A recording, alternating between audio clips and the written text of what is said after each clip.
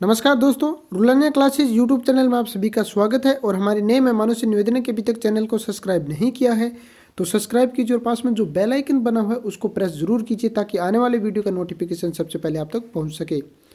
तो दोस्तों, इस वीडियो में हम बात करने वाले हैं आज के महत्वपूर्ण क्वेश्चन के बारे में।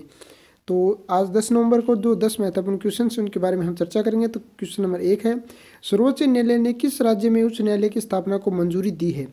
तो करेक्ट आंसर है आंध्र प्रदेश। अंतर्राष्ट्रीय बॉक्सिंग संघ का नया अध्यक्ष किसे नियुक्त किया गया है?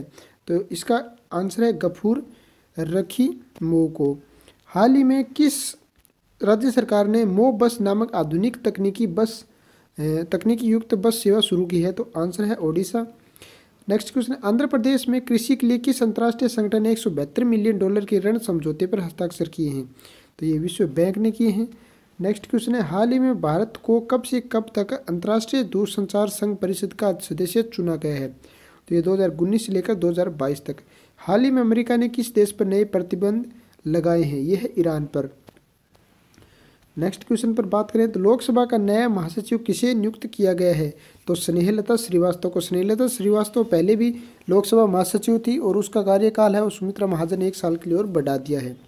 नेक्स्ट क्वेश्चन है हाल ही में एशियाई शॉटगन चैंपियनशिप 2018 के स्कीट इवेंट में किस भारतीय पुरुष शूटर से शूटर ने स्वर्ण पदक जीता? तो आंसर है अंगद वीर सिंह बाजवा ने आंध्र प्रदेश में कि किस ज़िले में केंद्रीय जनजातीय विश्वविद्यालय की स्थापना की जाएगी? तो करेक्ट आंसर है इसका विजयनगरम में। नेक्स्ट क्वेश्चन है हाल ही में लालन सारंग का निधन हुआ, वे किस क्षेत्रीय सिनेमा से संबंधित थी? ये आंसर है मराठी सिनेमा से।